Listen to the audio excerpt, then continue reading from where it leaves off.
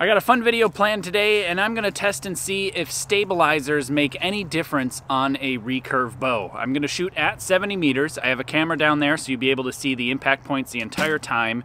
And what I'm gonna do is I'm gonna shoot a recurve stabilizer setup here that is traditionally shot at the Olympic Games with V-bars and an extension and a long rod. And then I'm gonna take them off completely and shoot the bow just bare and see how big of a difference it makes in my groups downrange.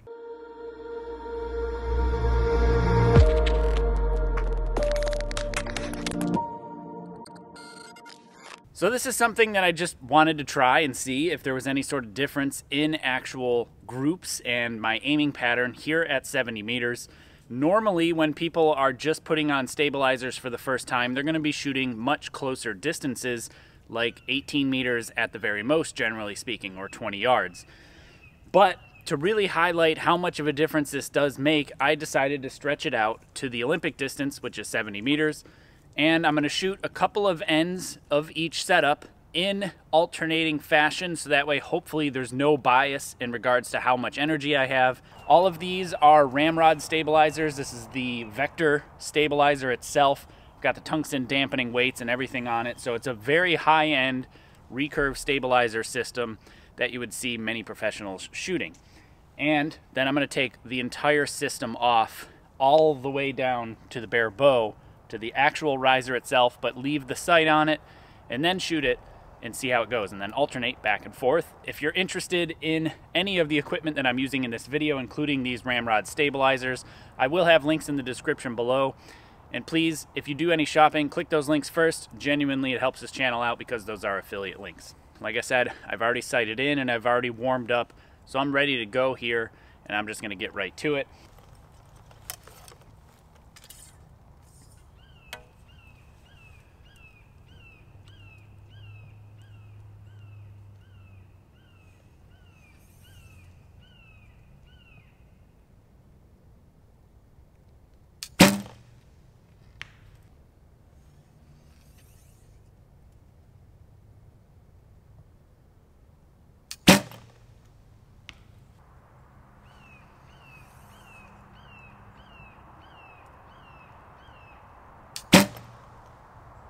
Basically what I'm seeing with my sight picture so far is very, very little movement, if at all. If I had a sight pin with a dot in the middle, the dot definitely would not be leaving the yellow. Um, you know, I would say it's probably 50 plus percent of the time in the 10 ring.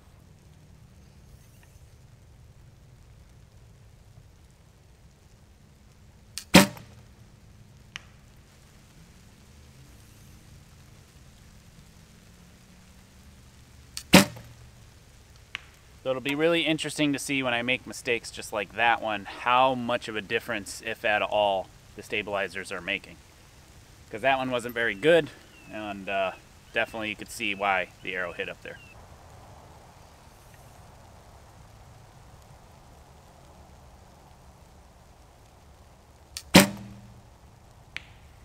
And uh, like the previous shot, not the greatest. So on this end, I shot a 53 out of 60. Scored may not matter a whole lot. So what I'm going to do is I'm going to take an arrow and I'm going to measure the group spread left to right, up to down, and kind of notate it on the target. Just that way I can kind of see what the actual group is doing because when I take the stabilizers off, my arrows may not land in the same place. I suspect they may shift slightly on the target as far as the impact point, only because I know that when you change stabilizer setups, it can really affect the tune of the arrow and therefore affect its trajectory. And so it might impact slightly different. So we can't necessarily compare scores in regards to like apples to apples type comparison here. So I'm gonna measure the group spread and note it that way in case it changes a lot. So I'm gonna go down and get them, take the stabilizers off and do this again.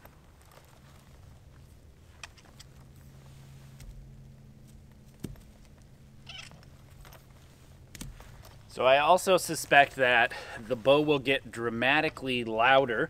I haven't shot a recurve at all without a stabilizer system on it, other than maybe occasionally with a very, very light recurve bow that shoots maybe like, I don't know, 12 pounds of draw weight or so. And uh, And this thing is right at probably 46, between 44 and 46 if I had to guess. I haven't actually measured the peak draw weight. And uh, it'll be really interesting. I'm sure it's going to be super loud, like I said. I'm sure it's going to aim terribly. And uh, the bow is going to be very unruly when I let it go. It's going to kind of just swing all over the place and the top limb may turn back and want to hit me in the top of the head. So we'll see what happens. I honestly have no idea how the bow is going to react and uh, it's mildly terrifying only because of the amount of draw weight I'm shooting. Okay, so now that I have a kid's toy in my hand, which is not substantial at all and not balanced at all, let's see what happens.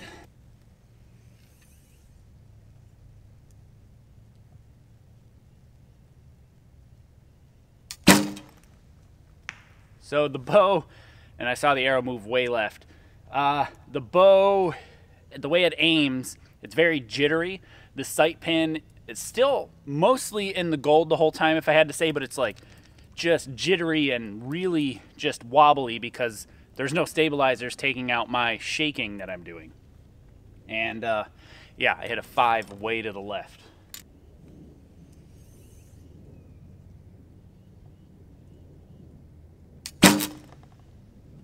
and I'm shooting these arrows as good as I possibly can.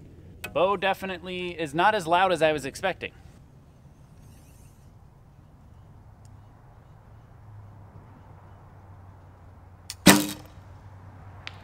And an 8 left. So based on that, it looks like the group has definitely just shifted to the left.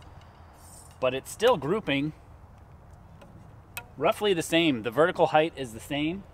Well, better actually, but it's only three arrows and the left to right spread is pretty similar actually.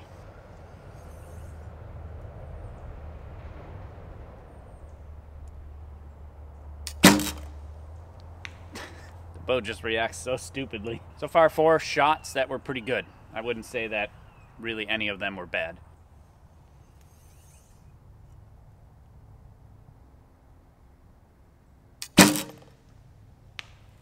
It's interesting. There's two distinct groups down there right now.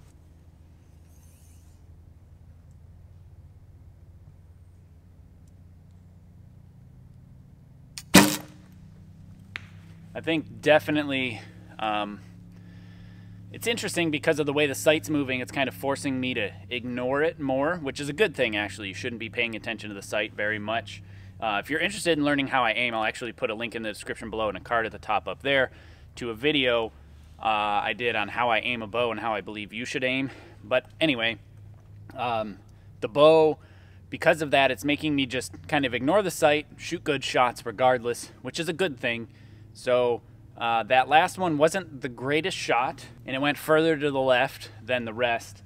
Um, but I don't have an answer as to why there's essentially two distinct groups down there. It was definitely better vertically by probably 50% and I would say the spread left to right is definitely worse because there's no centralized group. I have two distinct groups, and if it was centered on the target, I would say I would probably have three nines, two eights, and possibly a seven down there. Uh, I wouldn't have really much anything better than that if the group itself was just centered on the target.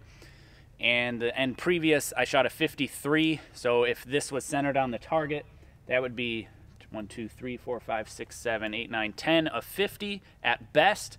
Whereas if I would have centered the group of the previous shot end, I would have had at least a 54, if not higher. Uh, so definitely a big difference there. So I'm gonna go get them, move the camera to a different position so you can get a better vantage point as to what the bow is doing when I let it go and uh, do this test again.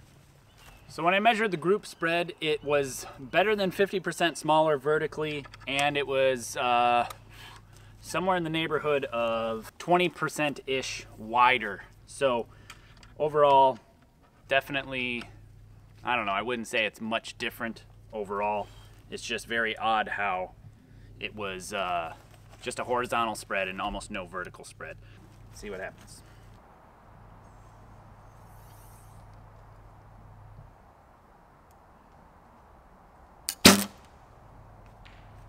such a total different feel the way it shoots. Because obviously there's more mass weight, I have to actually hold the bow up when I'm aiming.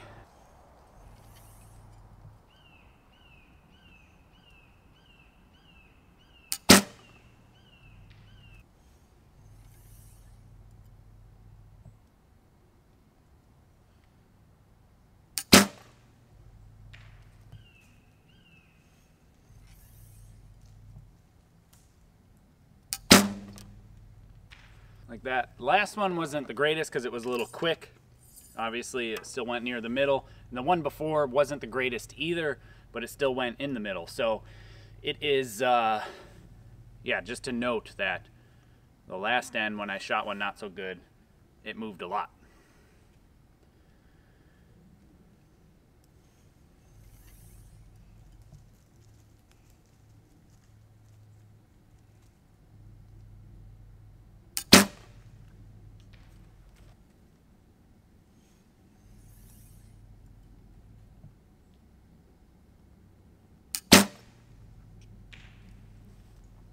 Okay, so that one's a 57 vertical group. Pretty similar. The left to right group's definitely dramatically better on that end. So I'll go down and mark them again, and uh, then we'll come back, take the stabilizers off, do it one more time, and see if we have similar, similar results. This definitely, as far as the stabilizers are concerned, the inner group is definitely there. As of the last end, there was no inner group or no, no overall concentric group without the stabilizers. So we'll see if that holds up again or not. All right, second end with no stabilizers.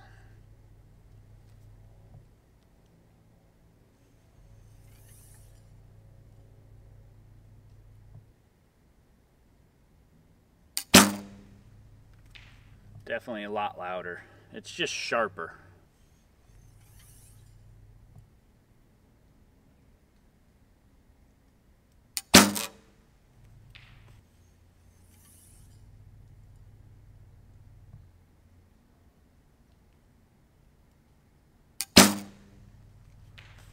Felt odd. The arrow or the the arm, the bow arm, wanted to move left upon release. I didn't throw it left, but it really moved left. Uh, so maybe shooting without stabilizers might even be some sort of a training game or tool to realize what you're doing in your form.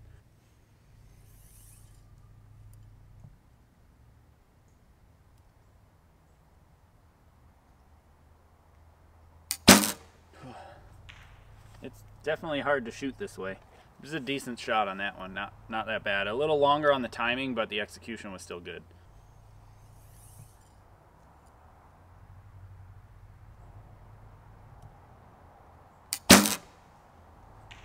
Now I know this isn't a fair comparison uh, because of the, the tune changing. I mentioned that earlier that uh, as you change stabilizer systems, it changes the tune of the bow which can change the flight of the arrow and change the forgiveness. I really truly don't believe that the tune of the bow has changed that much to make that much of a difference in the actual grouping because the grouping is now that you can see like especially compare and contrast last end even the first end with the stabilizers compared to this end you can see a huge difference there's just really no comparison there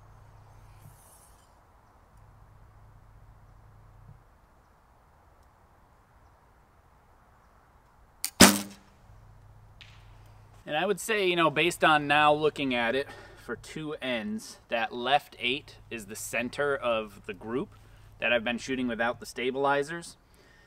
And like I said, if I center that, I would probably have two tens, a nine, an eight, maybe another nine, maybe another eight, and then a definitely a seven or a six. So that would be three, four, five, six, seven, eight, 52 at best out of 60. So like I said, 52 and maybe a 50 at best the end previous. Even if I would have centered those left eights and then the left sixes and that four, the distance there would probably be somewhere in the neighborhood of three tens and three sevens or two sevens and a six. At three sevens, that's a 51. So that still is not good. The scores there are just not good. Not in comparison with stabilizers. The stabilizers genuinely made a huge difference in my little fun quick test here of just shooting a couple ends in each. Like I said, I've not shot a recurve bow without a stabilizer system and like a real stabilizer ever, actually. Uh, the first time I started shooting recurve, I had a long rod on just a long rod, no V-bars. I had a long rod and a back weight, just like Butch, Butch Johnson did back in the day, because uh, that's what everybody was shooting. People hadn't shot V-bars really that much back then. This was in like 2000 is when I started shooting recurve, give or take. And V-bars just really weren't a thing, not very popular, at least from where I was from uh, back then. So huge difference, though, in the actual aiming pattern, huge difference in the overall stability. I don't have my Mantis here. It's packed away somewhere. Otherwise, I would have thrown it on the bow so I could give you actual stability ratings. But I can tell you that the when a shot went well, the actual aiming property, the pin was roughly as steady as far as how big of a movement it was making. But without the stabilizers, it was literally like just all over the place like this, just moving all over the place. Whereas with the stabilizers, it would sit, maybe go like this and come back, maybe go up and come back, and you know just kind of wander maybe a little bit. But it was basically sitting in the middle the entire time, and not this just constant wavering. You know, Joel Turner has talked about potentially needing a lighter stabilizer system that's not so steady because when the stabilizer moves out, its first move is going to go back to the center. If you're doing your job aiming correctly, in the correct manner because of you know the human hand-eye coordination is so incredible especially when it comes to subconscious shooting when you shoot a lot a lot of arrows and you've trained the overall motor skills like I have. Now will stabilizers or not stabilizers show the same difference for you? Probably not because I've shot you know probably going on a million arrows by now with a version of a technique that I've been trying to perfect the entire time and so I've got a lot of arrows under my belt developing this form and this technique and the overall motor control, the proprioception, the connection between the brain and the muscles to do its job as best and as efficient as humanly possible.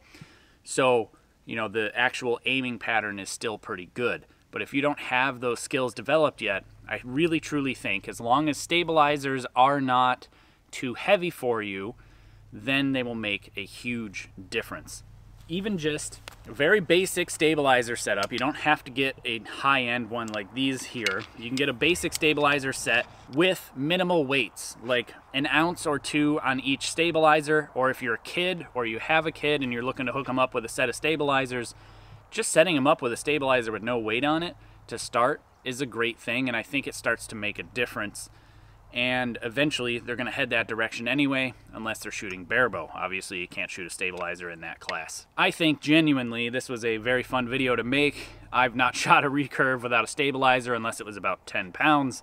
So to feel the difference and go back and forth between stabilizers, no stabilizers, to see the aiming pattern change dramatically, and to see the group shift to the left a dramatic amount is actually kind of cool. I think that is probably tune related, the impact shift, but the actual groups, definitely way more to it than just the actual tune. Hey, if you like this video, consider sharing it. Genuinely, that really helps this channel out. And hit that subscription button and the notification bell down below. I don't operate any other social media, so I rely on you to help spread the word about the channel, so sharing it genuinely makes a difference. Also, if you wouldn't mind, please do consider supporting the channel. There's many different links in the description below and various different ways that you can actually support this channel. I can't thank my supporters enough. I produce all this content for archers around the world to enjoy for free, and so I couldn't do it without you, at least not to this level.